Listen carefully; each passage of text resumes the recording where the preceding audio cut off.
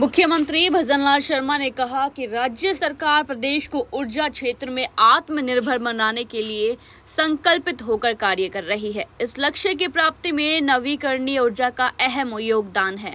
इसलिए राज्य सरकार प्रदेश में पंप भंडारण परियोजनाओं को प्रोत्साहन देने के लिए नीति लाने जा रही है।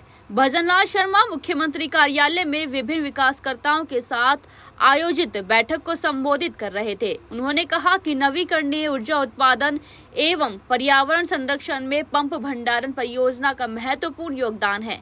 ऐसी परियोजनाओं को प्रोत्साहित करने के लिए राज्य सरकार एक स्पष्ट और ठोस नीति बनाने के लिए प्रतिबद्ध है। मुख्यमंत्री ने कहा कि आगामी नीति से निवेशकों को पंप भंडारण परियोजना की स्थापना एवं संचालन के संबंध में स्पष्ट मार्गदर्शन मिलेगा और वे इस क्षेत्र में निवेश करने के लिए आकर्षित होंगे।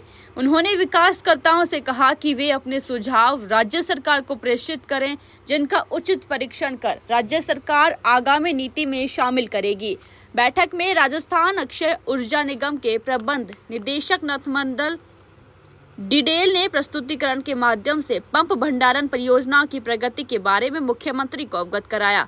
उन्होंने कहा कि राजस्थान अक्षय ऊर्जा निगम ने प्रदेश में आठ संभावित स्थानों पर इकहत्तर मेगावाट की पंप भंडारण परियोजना का चिन्हित किया है। साथ ही कई विकासकर्ता भी पंप भंडारण परियोजना से जुड़े हैं। उन्होंने बताया कि वर्तमान में Rajasthan wind and hybrid energy policy 2019 एवं राजस्थान अक्षय ऊर्जा नीति 2023 के प्रावधानों के अंतर्गत पंप भंडारण परियोजनाओं पर कार्य किया जाता है।